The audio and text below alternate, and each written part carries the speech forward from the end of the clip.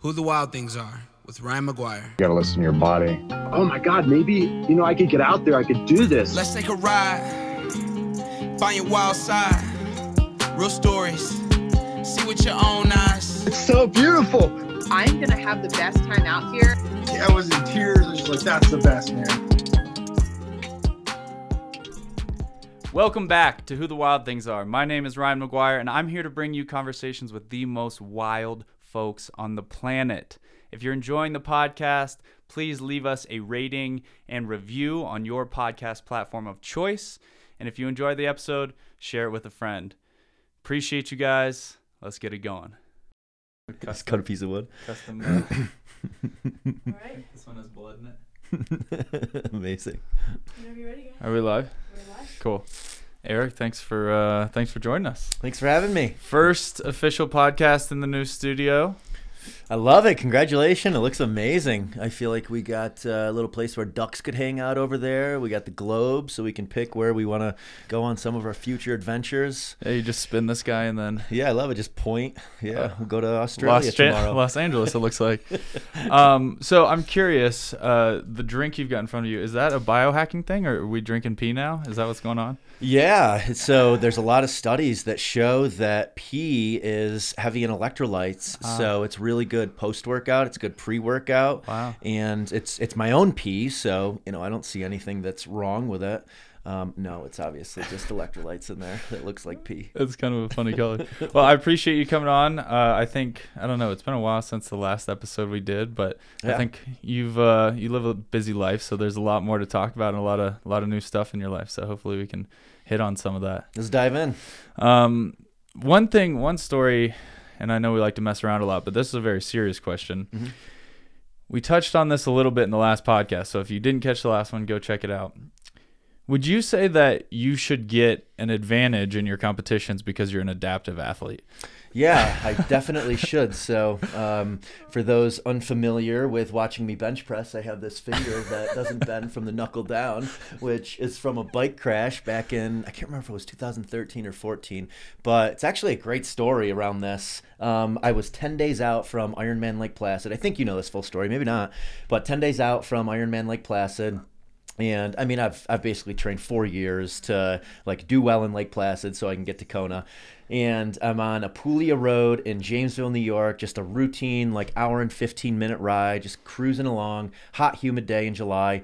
And like I was obsessed with the numbers back then, making sure that like heart rate monitor was working and it was tracking my heart rate and watts were working and something was off. I can't remember if it was my watts or my heart rate, but I was finicking around with my bike computer and on a triathlon bike, you're tucked in like this and I raised one of my arms to play with my bike computer, and my arm slipped on the aero pad, and I was going about 25 miles per hour, and I just went flying off into a ditch and skidded for a while. And my first thought was, I thought I lost my chin. And honestly, the reason why I have facial hair and have had facial hair since 2013 is because I had a nasty scar on my chin. I had to get about 30 stitches Wow. on my chin because I literally just like skidded on my on my chin. And uh, so, anyways, I'm like way out in the country. I don't have cell phone service, and I'm bloody, and I'm hitchhiking essentially for the one car that passes by every 10 minutes.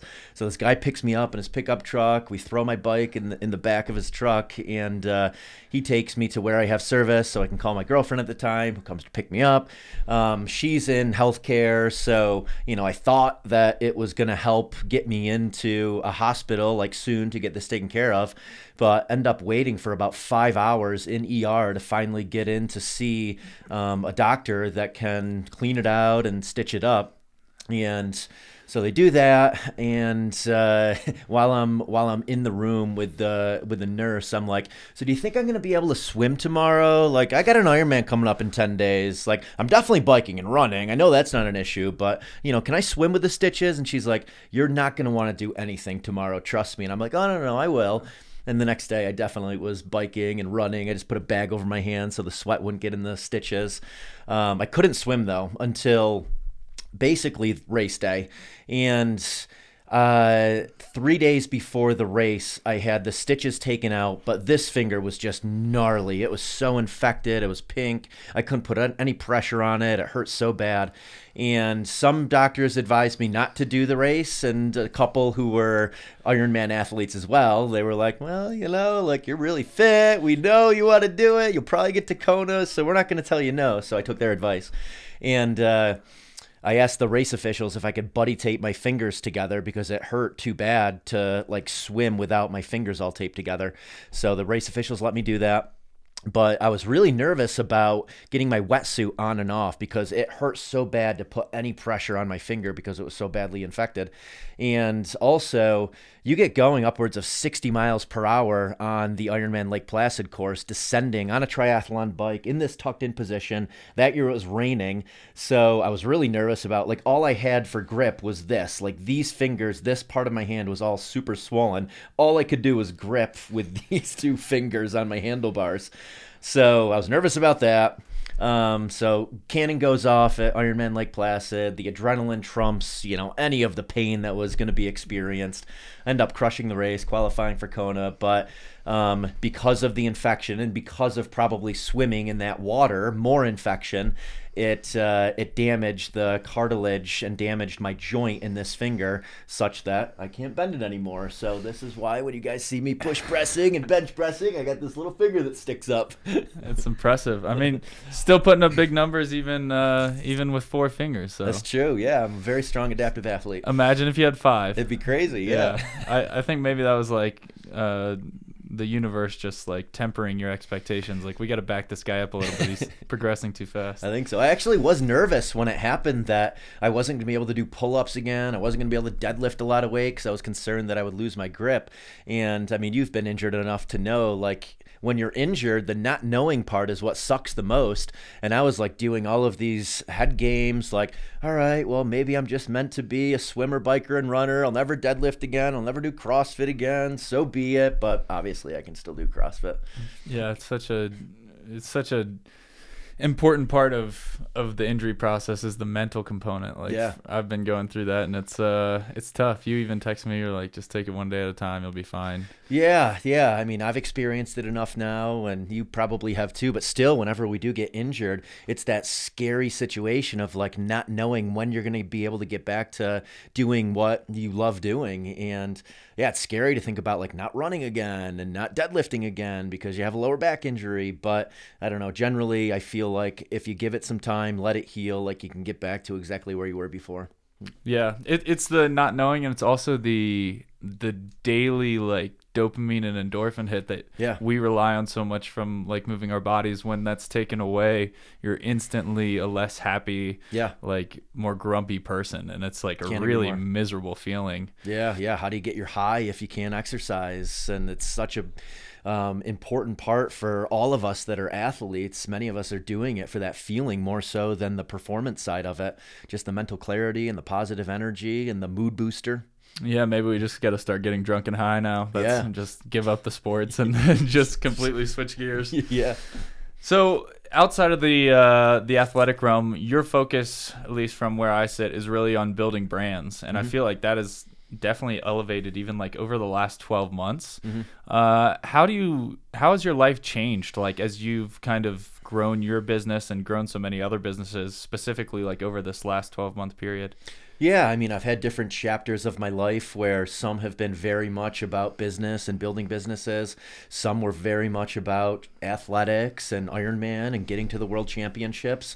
And so my my Instagram profile used to read what six years ago when I was thir- or eight years ago when I was 34, retired at 34, exploring the world most days shirtless, and uh, I'm still exploring the world most days shirtless, but I'm certainly not retired anymore. I feel like the last two or three years, I've really ramped up the business side of things again, which has been fun. I mean, it weaves in with my lifestyle, but um, yeah, where I am now, um, I'm helping others build their brands. I work with about 25 different brands, and I'm more of a consultant to them. There's definitely a component to it where, you know, I'm creating awareness, posting um, content on my Instagram feed, TikTok, YouTube, but I'm also introducing um, the companies to investors. I'm introducing the companies to other ambassadors. I'm helping them with all the communication channels that I've seen to be successful um, for ambassador programs, introducing them to distribution channels, introducing this is a big one, introducing founders of companies to other founders of Yeah. companies.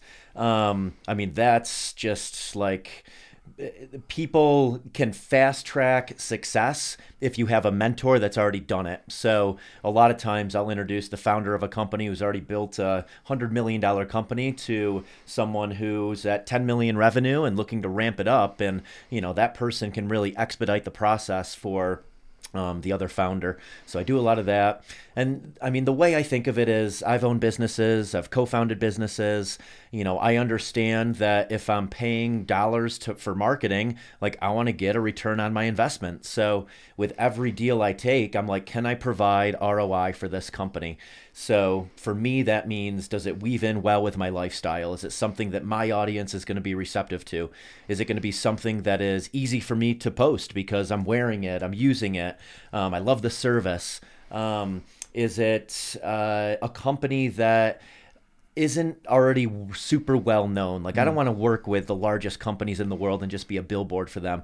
I want to work with companies like Kane and Beam and 10,000 where not everyone already knows about them. So again, I can add a ton of value through my audience. And I also feel like my audience looks to me for the latest and greatest, you know, kind of like that hype beast or Uncrate like what are the cool new consumer brands out there?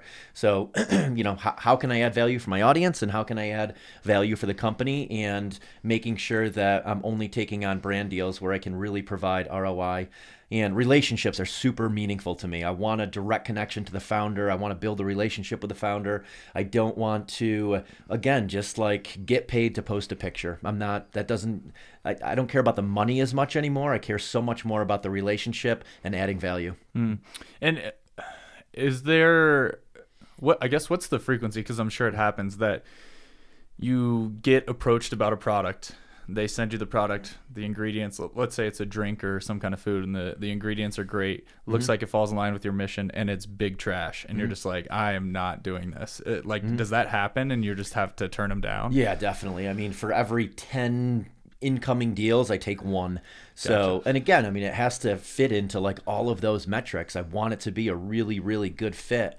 So, yeah, there's a lot of them that come my way that are just like a one off, pay to post, or a big company saying, hey, you know, promote something at Walmart for us. So, there's a lot that I, I don't take. Mm. And it, it's typically what's the main reason? Is it usually the product being something that you don't really enjoy, or is it is it a different metric? Yeah, it's not even so often that anymore. I mean, you know, I feel like the companies that are reaching out are generally in the health and wellness space. You know, I'm not getting products outside of what I would generally talk about. It's more so is it going to be a good relationship? I mm-hmm. look at these things as, you know, six month, 12 month, multi year relationships. Sure. and if it's not going to be that again like i'm not i'm not a model. I don't want to just take a picture and you know post holding something up.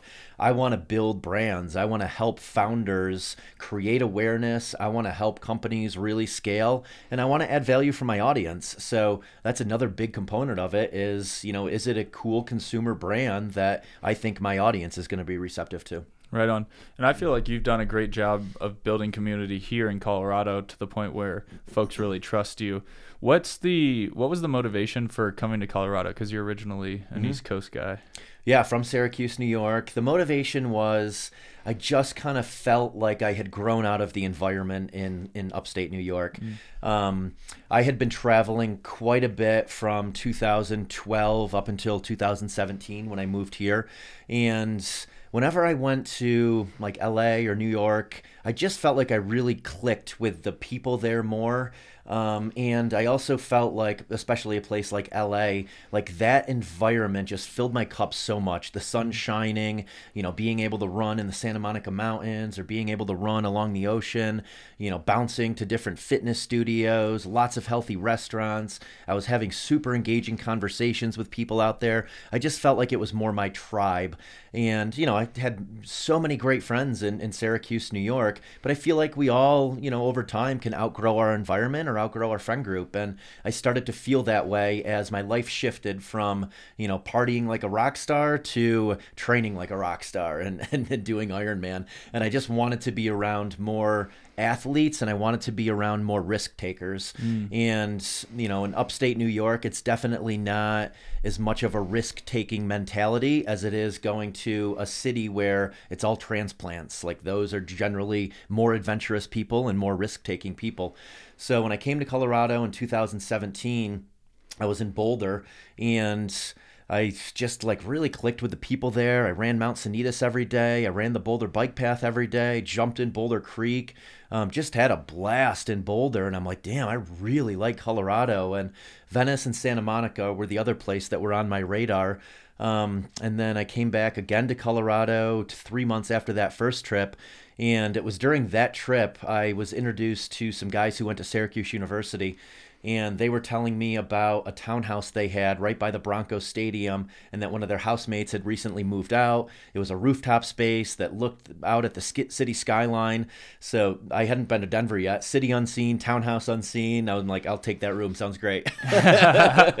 so uh, the next day, I find myself driving with them in the car to Target to buy things to move into this, you know, little room that um, I had just committed to and like I had a, a beautiful condo back in Syracuse, four thousand square feet, um, you know all the all the amenities that you could imagine and nice cars and nice clothes and just like a nice life. But i was so much happier just sleeping on a mattress with like three different outfits in colorado than i was going back to this grand lifestyle that i had in, in upstate new york. So that to me was like wow environment and people matter so much for mm. for my happiness so for a year, I had a motorcycle for transportation out here in Colorado. I drove it year round, obviously not when it was snowing, but if it was cold, I would just bundle up and I still would drive that for my transportation. I walked a lot. Whenever it was snowing, I would just walk around to places.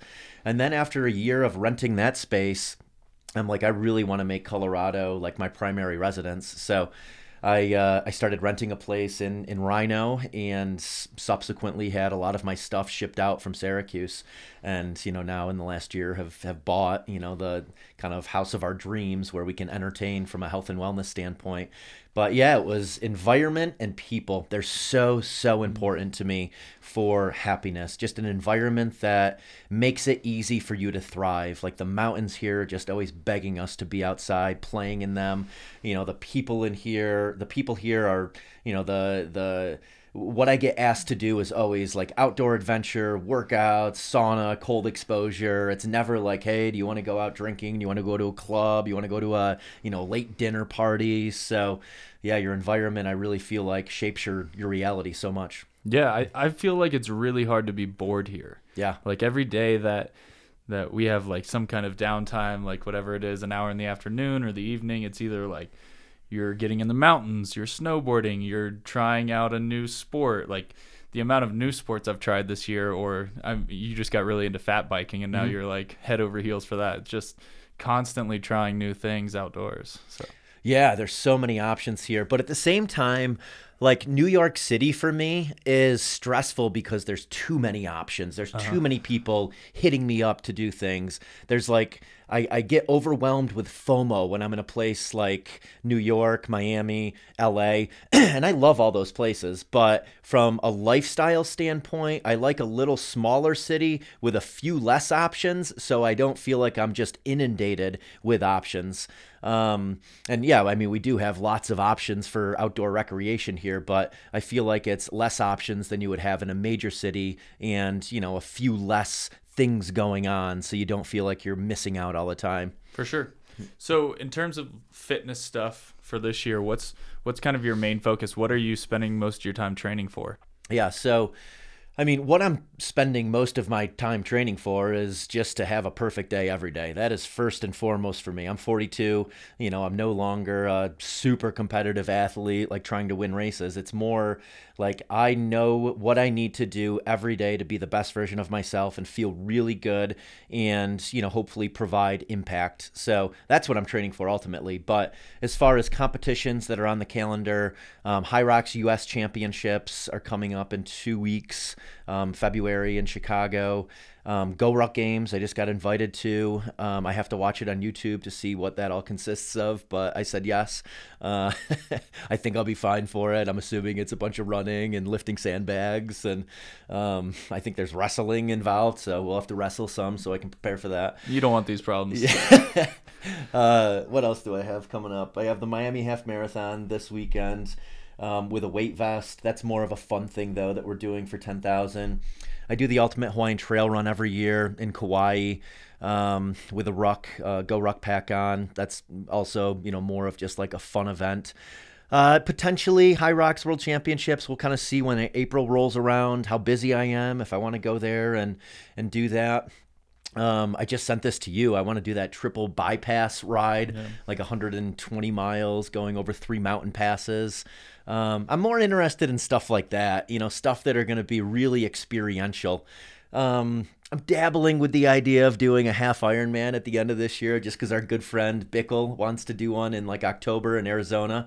And, you know, for me to get back there, it wouldn't be too hard outside of the swimming. Yeah. You know, I can easily ramp up the biking, I can easily ramp up the running to do just fine with it. But I would definitely have to get back in the pool because I haven't swam. Last time I swam was, I think, three or four years ago. I was at Vail Pass and I had just gotten sent a, a new pair of fancy goggles by a company and uh, Vail Pass is at like ten thousand eight hundred feet, and there's a there's a beautiful lake up there, and uh, I jumped in and thought I would easily be able to swim across it, which maybe was like 400, 800 yards, nothing crazy, and I get like hundred yards out, and I'm just like sucking wind, and I was with a group of like ten people. I had to tuck my tail and just kind of like doggy paddle my way back in. I'm like, damn, I've lost my swimming fitness, and it was a high elevation, so I will have to get back in the pool if I do that, but that's the yeah, that's where I'm at. Yeah, that's uh, a lot to unpack there. So I might also do the Ironman or half Ironman with you. Mm-hmm. The swimming is definitely the thing that I have no idea. I, I feel like I'm made to swim, love to surf, but I don't know how to breathe in mm-hmm. the water. It turns out you can't breathe when you're underwater. This is something I learned. So I'm gonna have to figure out or pick your brain about yeah. like how to breathe. But it's a steep learning curve. Swimming, you know, if you're an athlete, you're long, so I mean, you would pick it up really fast. It really is just about that: the body position and the breathing. The breathing comes pretty fast. The body position takes a really long time. It's in a month you can become a good swimmer it's going to take you five years to become a great swimmer. Like there's such, you need to put in so many yards to go from here to like here. Yeah. but to go from here to here, it's it's not that bad if you already have some aerobic base and some strength. Um, for me, what helped a ton was swimming with a pull buoy.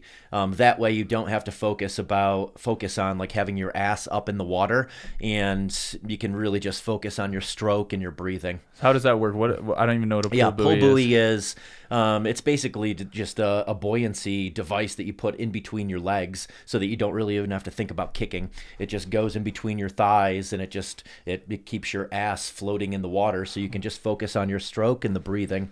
And uh, yeah, for me, Ironman's breathing was swim, swim, breathe. It was like two strokes breath, two strokes breath. I, you, I wasn't breathing every stroke. You're alternating shoulders that you Correct. breathe over? Okay. Yeah, your stroke, stroke, breathe, breathe, stroke, stroke, breathe. Okay. Yeah.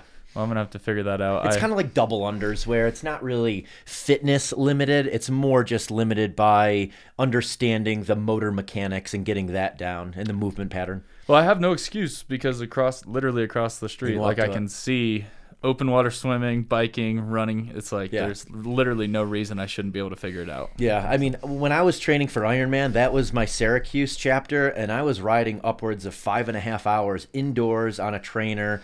You know, I was doing upwards of two hour runs, sometimes on a treadmill if it was super icy and, and cold and snowy outside. And I was swimming at 5:30 a.m. in this dungeon at at the YMCA. I mean, it was just no frills. We have like the best place in the world to train for Ironman here. So I am kind of intrigued about it just because the environment, like, will I, I think just breed success for us in training and enjoyment. Whereas I got to a point in Syracuse where I was very much just going through the motions because I felt like that was my identity and I had to. Sure. So switching gears to Hyrox, which is more of your focus now. Mm-hmm. Do you have a goal for Chicago or for the rest of the season? What's what's kind of uh, the the end goal with Hyrox? Yeah, uh, goal is, I mean, just to kind of test my fitness and see where I'm at. I've really ramped up the running the last two months. My run pace has dropped tremendously at an aerobic heart rate. So, yeah, I'm excited to see how my running fitness, because the other Hyrox is, you know, I'm training CrossFit. I run here and there. I bike. You know, it's not like I'm not prepared for it, but I've definitely really focused on the running, ramping up for it. And I've just, this is the time of year too where I run a lot because I can't mountain bike. So a lot of things for me are just really seasonal. Um, if I can't mountain bike, you know, I want to get my 60 minutes of aerobic conditioning in. Running is very accessible. Um, I mean, goal would be to win age group and, um, yeah, just kind of see how fast I can go. I, I got slower from my first one to my second one, and I think a lot of it was because I just wasn't running a lot. I felt like I was very anaerobically fit. I'm certainly very strong from all of the CrossFit training, but I mean, Hyrox, you see the top guys, like they're they're really good runners. So, I mean, you really have to ramp up the running if you want to do well in Hyrox. Yeah, for sure. If you had to pick a number right now in your head, what what do you think's possible for Chicago? Time wise? Yeah. Um, well, I went 105, I think, 105 and change in the very first one I ever did. This last one was 107, 108. So I'm hoping I can get back to at least where I was in that first one. So I would say 104, 105 should be realistic. Cool. Yeah, that was kind of my my number I had in my head for for Dallas. Well, when I was going to do it, I'm gonna kick it back now. Probably, I don't know. I might do Houston or a later one. I just don't think. I worry that I'll get hurt again if I try Yeah, to push it it's too, too too soon. It's not worth it, especially if you're going into it already with that thought of like, eh, I just don't feel great. You know, it's probably better just to to train in a more controlled environment because those races are like your adrenaline is going to take over, and it's really easy Right. to go harder than you may want to. Yeah, yeah, exactly. There's it's hard to have a governor in a race like that, Yep. especially. So I don't know if you heard about the Hyrox stuff this week that people were upset about.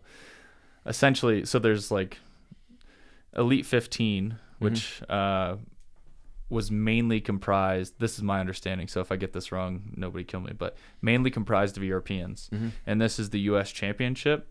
And so people like Rich Ryan and uh, Rylan Chadeg, they did not make uh, the cut Oh wow, because those first spots were basically all Europeans. So the the allure of the sport to me is still to kind of get into that elite 15 range. Mm-hmm. And now that um, that whole thing has gone down, it makes Chicago even less of a priority for me, if that makes sense. yeah, interesting.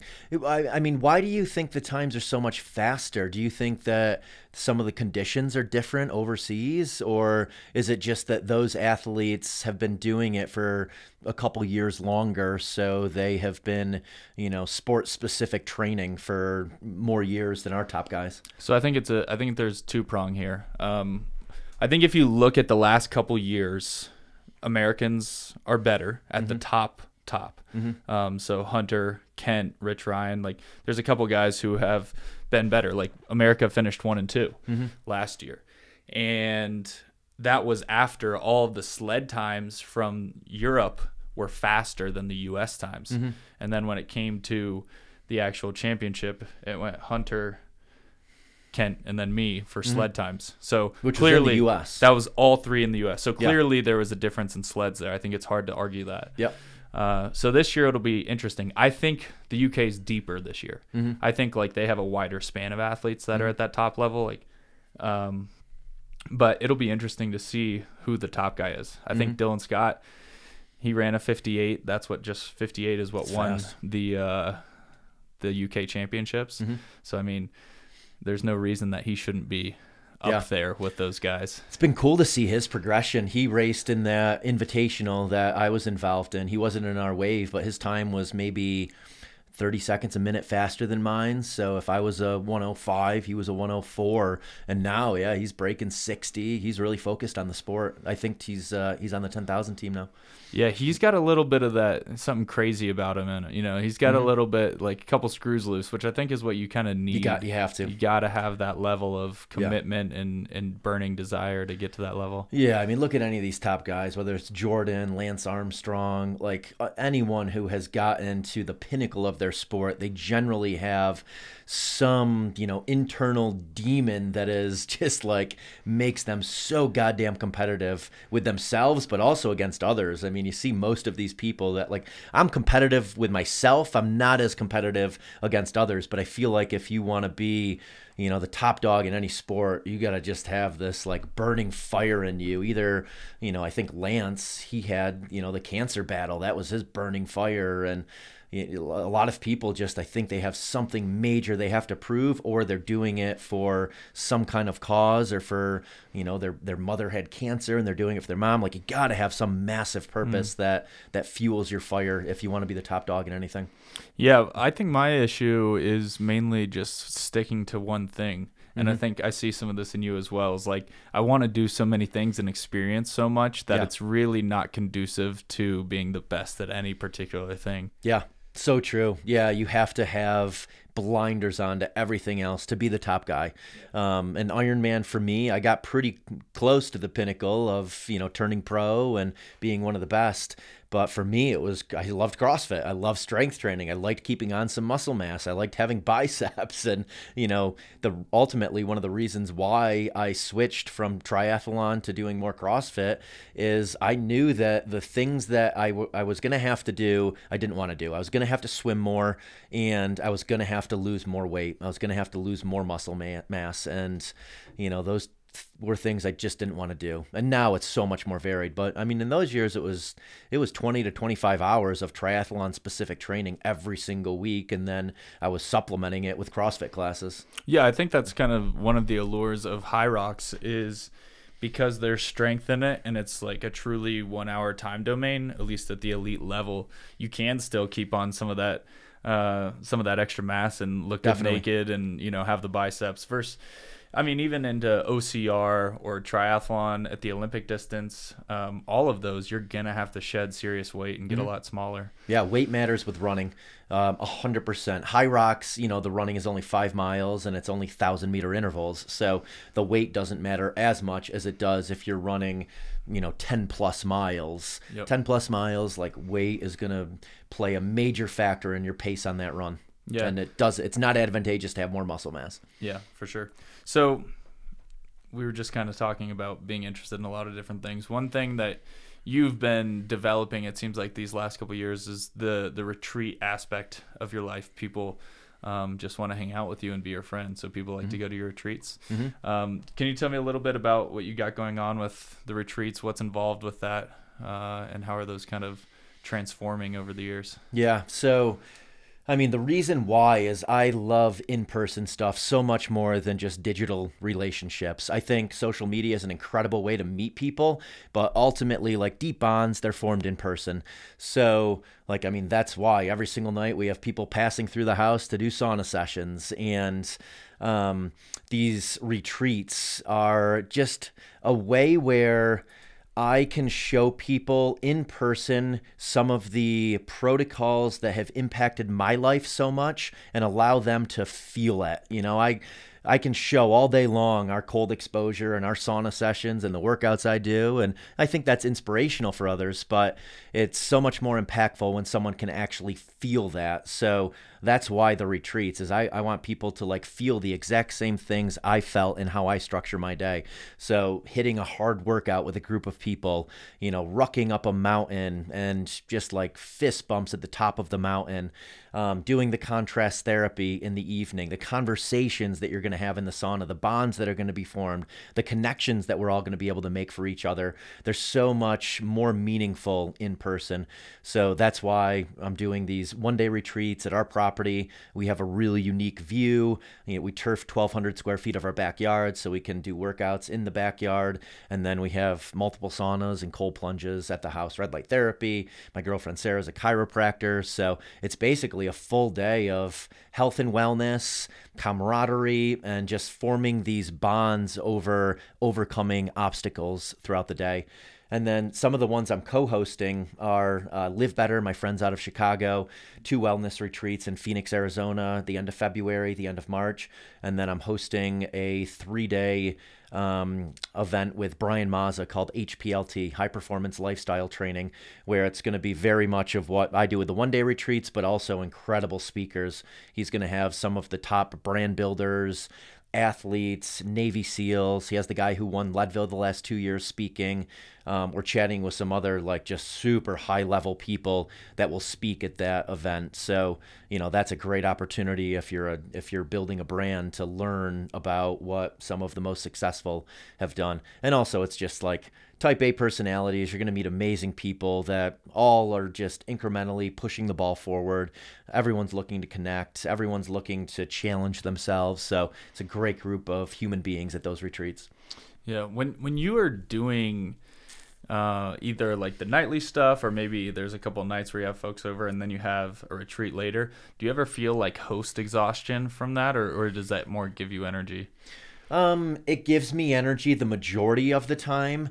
As long as I can get in like five days a week, a one one hour to 90 minute mountain bike ride, fat bike ride, run by myself, it, it refuels me. So I'm ready for more people and more conversations.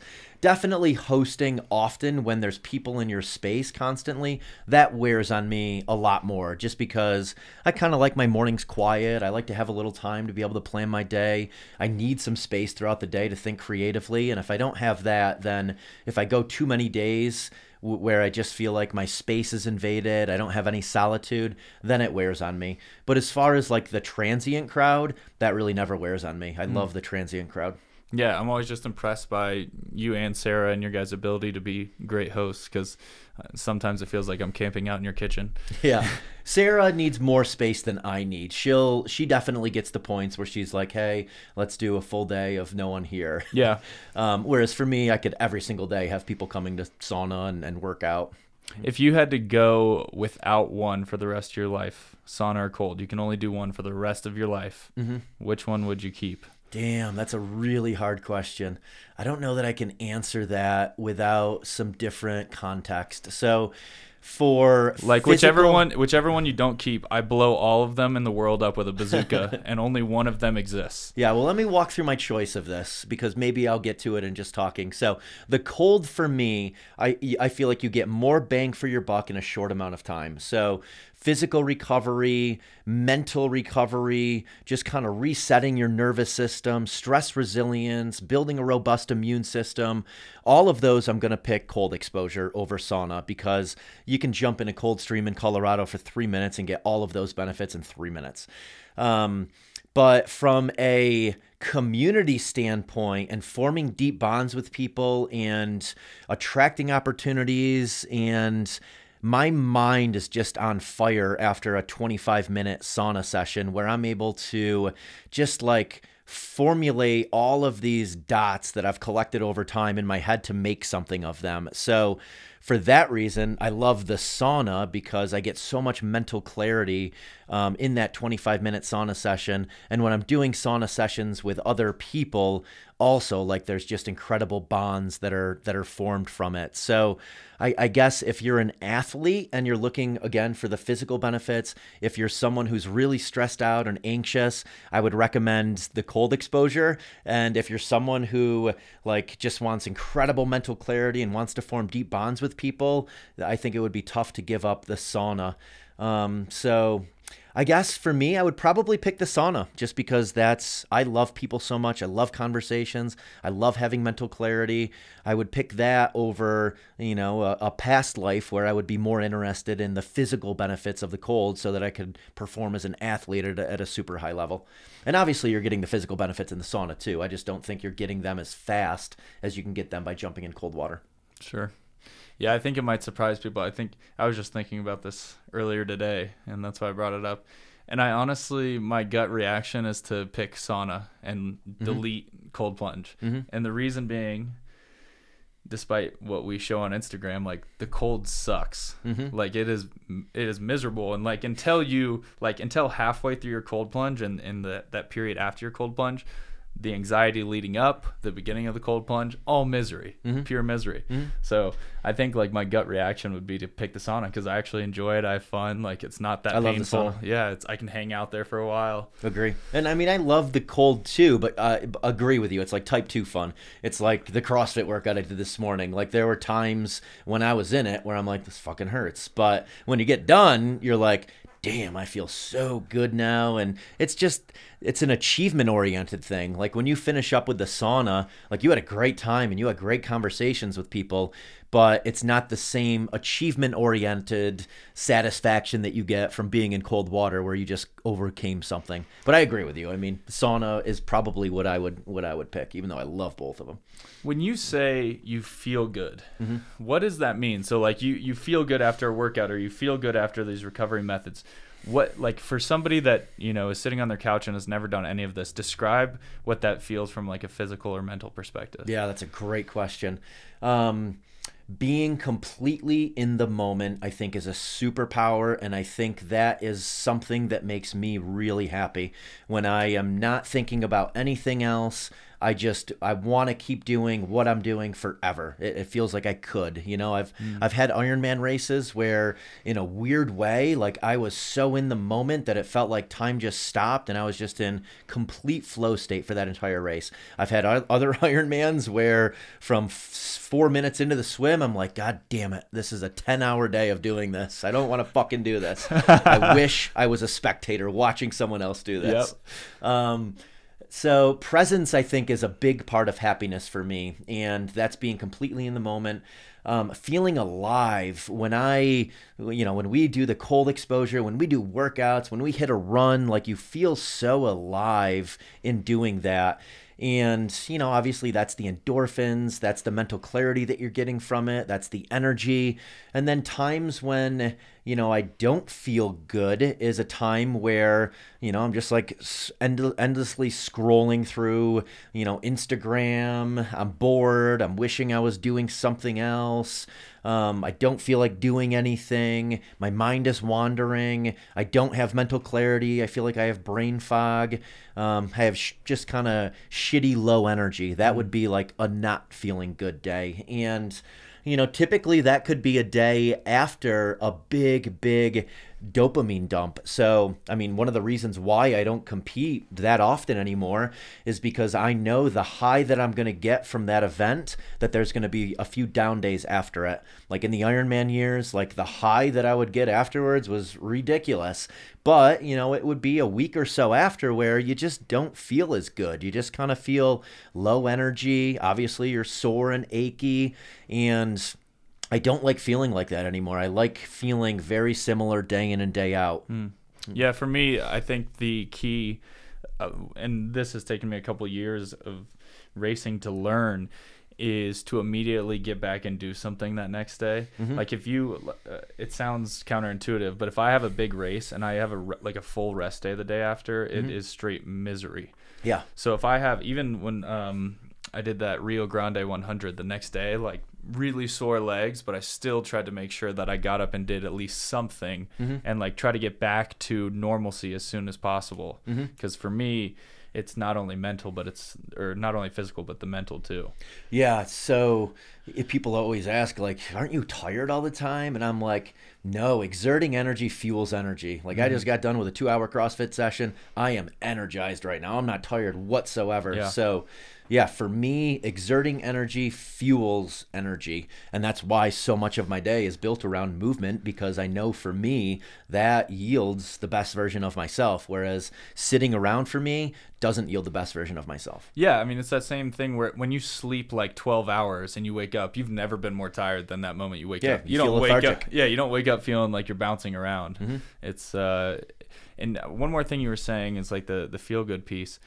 I've been trying to dissect that feeling after you get through like a really hard metcon or Mm-hmm. a ruck or something where you're just like redlining for like a long time. And for me, I feel like I'm worthy. Like I, I used the day Mm-hmm. and like I, I was worthy of being there for, for that moment to the point where it's like I used it well. Mm-hmm. The thing that hurts me or makes me feel bad is when I waste a day, like Mm-hmm. the opposite of worthiness. And that's the most painful. It's like, oh, well, I just crapped that day away and didn't do anything with it. Yeah, I mean, I think Tony Robbins said this that progress is happiness, and it's hundred percent the case for me. Like better than yesterday. That's a you know a, a motto I live by, where just every day, just kind of incrementally pushing the ball forward, and even if it's not, you know, it might not be I'm stronger today than I was yesterday, but I did those things that yielded progress and yield happiness. So for me, that's why the days are all pretty similar with, you know, my workouts structured, my recovery sessions structured, because I know those things that yield happiness for me that are progress oriented behaviors. Are you getting chirped a lot more now because your life is like more public and on social media? Do you have people just like, oh, why don't you do something else with your life? Why do you do the same thing every day? yeah, get a construction job. Um, definitely, yeah. I mean, as as your audience grows, you know, you're gonna have people who have opinions about your lifestyle, and you know, more often than not, it's if if I have a social media post that lands in the explore feed, and you know, it gets in front of someone who has no clue who I am, and they just see something I'm doing, that's when the opinions come out. But if it's someone who's followed me for a bit and understands my lifestyle, then I very rarely get negative feedback from any anyone who is you know someone who knows who I am from a from a digital standpoint. Sure. So for the next year, you were talking about the the triple bypass. Is there because uh, for folks that don't know what this is, also my mom's gonna do it with me, Epic. which is pretty sick. She's been wanting like one of her big goals for 2023 is to do a hundred mile bike ride. So I figured why not do one of the hardest hundred mi- mile bike rides that's available. Um, so she's gonna do that with me, and that is kind of tap like tapping into like ultra distance length and I, I really think of Ironman true Ironman as being an ultra race. Is there other are you interested in that ultra distance stuff like um, 20 30 mile runs 40 mile runs or are you really sticking more to like the one hour time domain? So I just feel like I I lived that chapter of my life from 2010 to 2015 where I was addicted to how far can I go. And the last 5 or so years have been more like how strong can I get and how anaerobically fit can I get. So I focused on that more and I've enjoyed that more.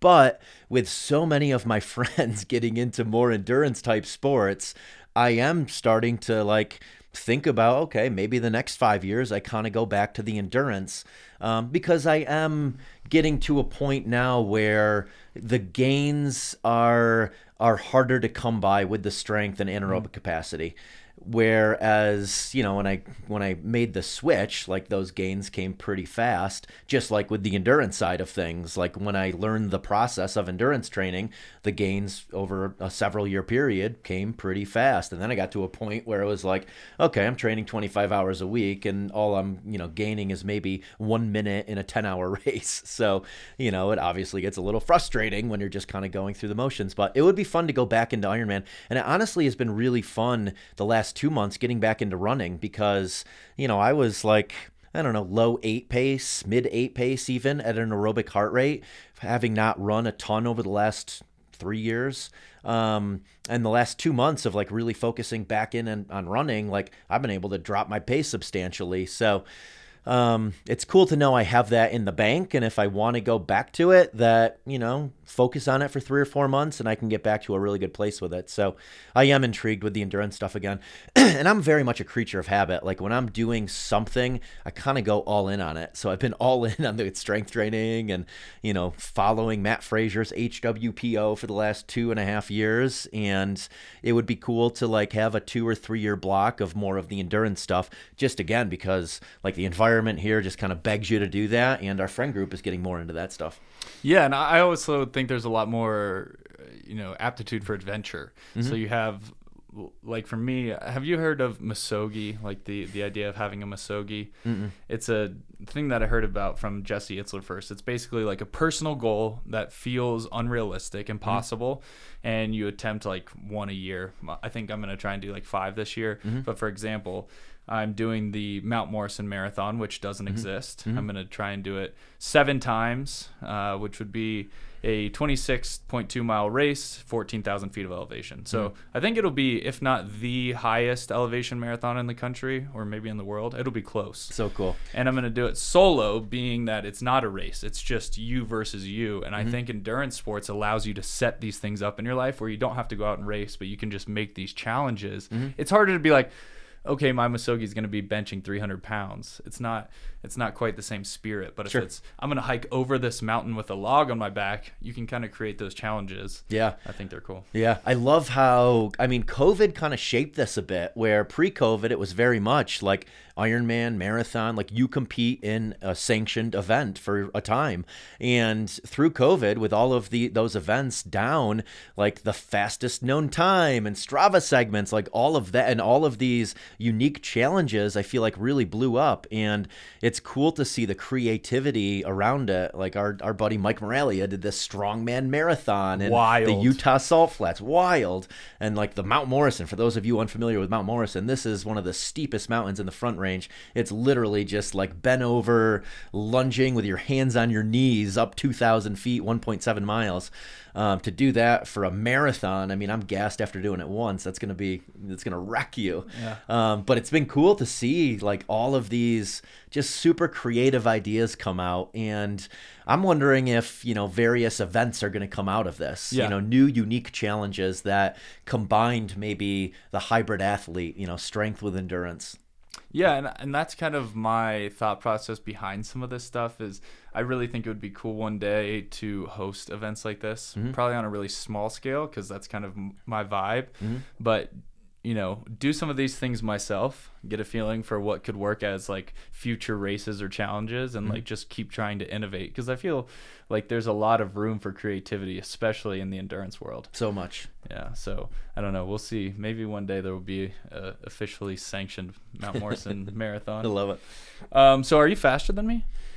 Am I faster than you? Man, I got to be getting close now with all the running. Okay. I mean, you know, the the the the results speak for themselves. Ryan beat me in the last High Rock, so as of right now, with official results, I am not faster, but we'll see. I mean, Chicago, we'll see if I can do. What did, what did you get in uh, Dallas? 105? 107. 107? Okay. Yeah. So if I can get 104, 105, I think that would be like I could say I'm faster than you. I think- I until you do your next one. Yeah, no, I, I think you can get 105. I think Yeah. I think uh, I mean, barring any like unforeseen circumstances, I think if you run, you know, good pace cuz really actually it's funny enough, you actually beat me on your runs last time. I don't I don't know how that happened, but you would think that I would beat you in runs and you would Yeah. beat me in stations. We actually flip-flopped somehow. Wild. Um so it'll be interesting to Yeah, see. I went in Dallas reflecting on it. I definitely went too hard on the sled um, in like the very first segment of it. I pushed it unbroken, just thinking like I am really strong right now. I've been doing a ton of CrossFit. Like I'm gonna manhandle this sled compared to everyone else, and I think that really. Like I, I always think of things as matches. Like in events, you only have so many matches you can burn before you've just your glycogen is gone. And I burned a match in that that first leg of the sled push, and I knew it. Like I'm like, fuck, my heart rate is jacked right now. Right. And I had to rest several times for very very long breaks. Whereas, uh, you know, I think what I should do, what I'm going to do in Chicago, is just do half take a 15 10 second break 15 second break half 10 second break half and just like check that strength ego of like i can move this sled because i'm so strong knowing how much it affected me the rest of the the race. I feel like the next 10 minutes i couldn't get my heart rate down from the from the sled push. And then you know towards the end um, my my heart rate started to chill a bit, and some of those movements are pretty good for me, and I was able to kind of you know catch my stride again. But yeah, I think I went too hard with it, and it affected everything else in that race. So yeah, I'm gonna more strategy on the sled, and then I mean the running again. I I have not ramped up running for a Hyrox. I've been really focused on the CrossFit training. You know, it's not like I'm not a runner, but I hadn't been running more than you know maybe five or ten miles a week up until the last two months where I've been trying to put in 30 and 40 mile weeks. So I think that's going to help a lot. And doing the runs every afternoon after already having done the CrossFit sessions. So mm-hmm. it's running on fatigued legs, which is very much what Hyrox is. Yeah, I think that's important to structure it that way. Mm-hmm. It's interesting because I've actually heard Hunter talk about that um, I think he was saying 15 steps and no negotiation. So mm. basically, no matter what, whether they're good 15 steps or a bad 15 steps, it's mm-hmm. 15 steps and break. Great strategy. Which it, yeah, and I mean, if you're familiar with Hyrox, you're not stepping a yard per foot. They're very small. So he's mm-hmm. not even. You're talking about the best guy in the world, not even doing full lengths. Yeah. And I'm in quite the opposite camp, which is my best times. I only took two breaks during the four laps, mm-hmm. and the reason being for me is like I would like to get under tension as few times as possible because mm-hmm. I feel like if you're going to keep putting yourself on tension mm-hmm. and then un- or like under tension and then taking off the gas, mm-hmm.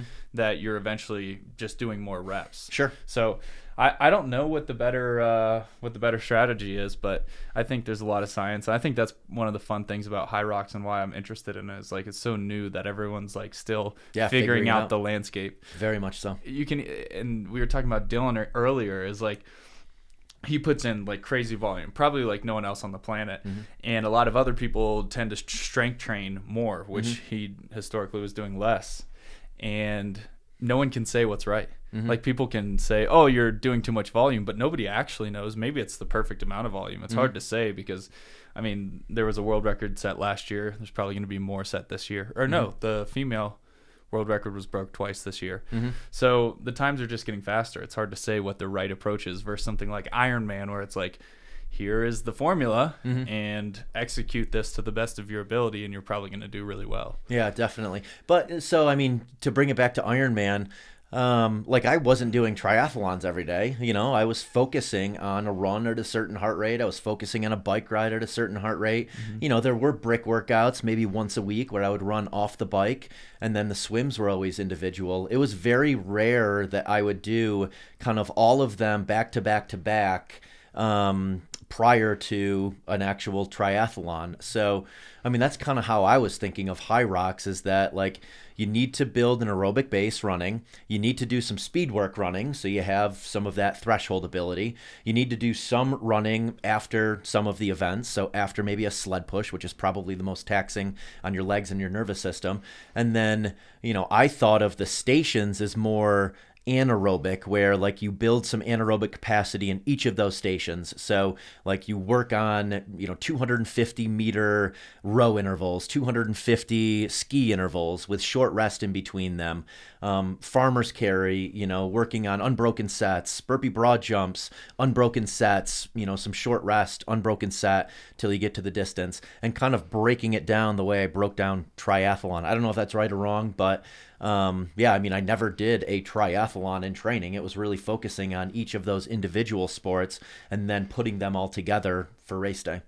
Yeah, and there's all of that and then there's still the possibility that you just show up and your body's not ready that day. It's true. It's yeah. such a it's such a gamble. Like I've gone out there and had days where I just feel and particularly Dallas, I felt really crappy during that race. It was one of those ones where like I started and I felt like crap the entire time. Yeah. And it's just I I feel like you also said you felt rough during that. Yeah, I did. It's it's so interesting like and maybe someone in the strength world will critique this, but I feel like strength you know, when I when I deadlift 405, like I can deadlift 405. Like you put me in a competition, and as long as I didn't like bang myself up the day before, like I have that strength. There's not that much mental to it. You know, if I've clean and jerked 300, then you know I probably will clean and jerk 300. But I feel like with cardio based events, me- the mental side of it plays into it so much of like how hard can you push? Because there's a vast difference between pegging your heart rate at 150 and pegging your heart rate at 160.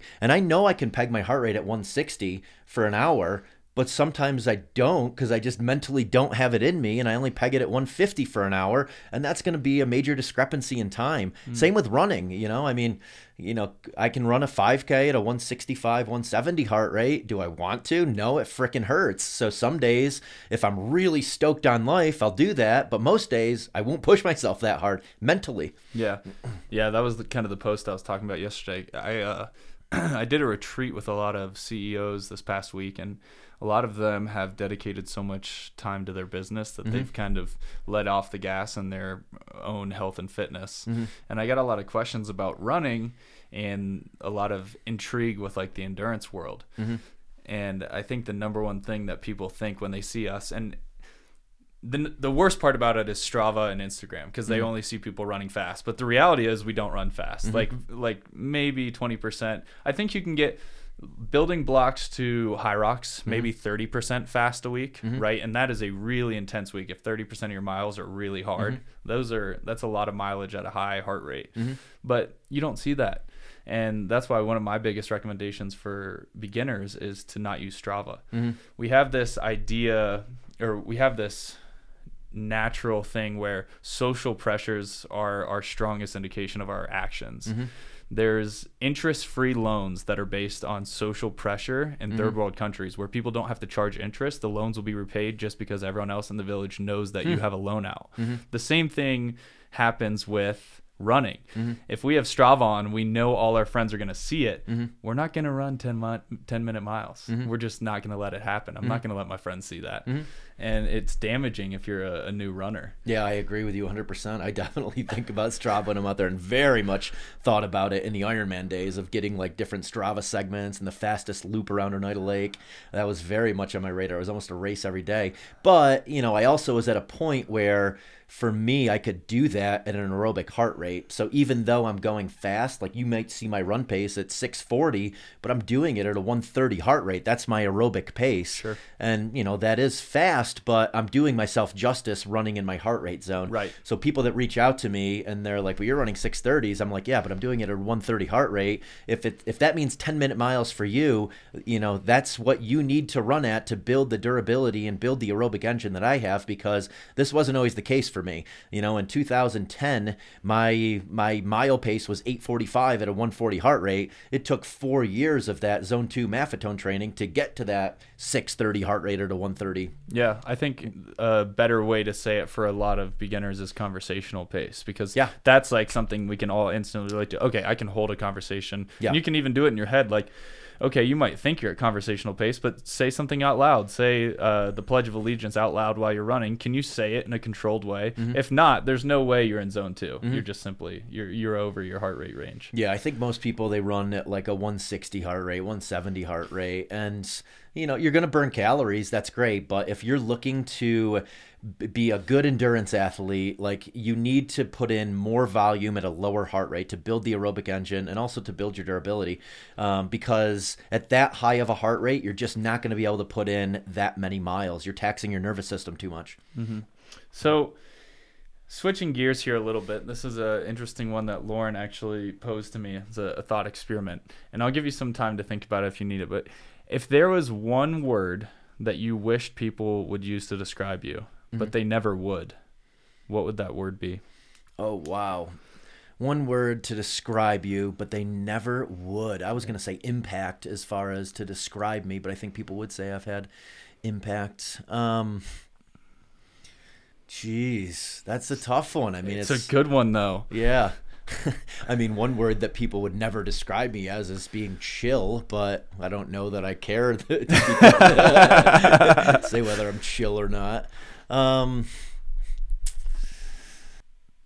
I don't know.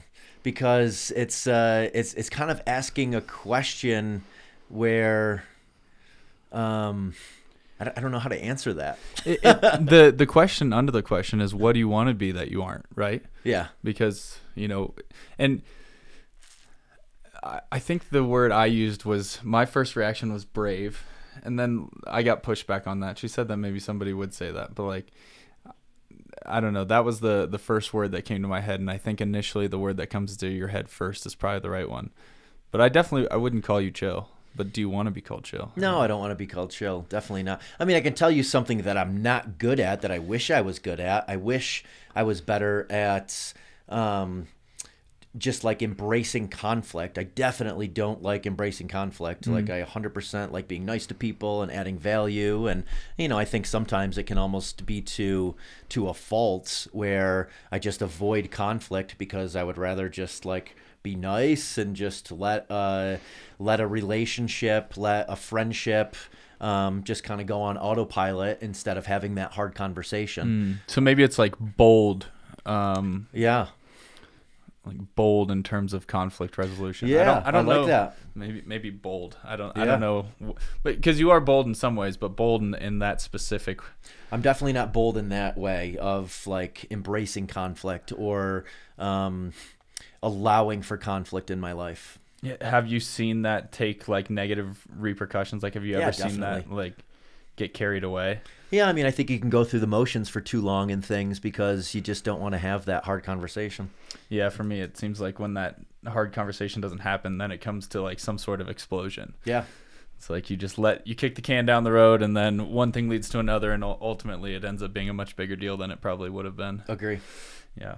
All right, man. Well, I've had a excellent time. Always a great time having you. Uh, I look forward to our, our next battle and uh, all the adventures Likewise. to come. Let's go for a run. All right, man. Cheers, brother. Bye, guys. Stay wild. Love you. That was awesome. Yeah, that's great.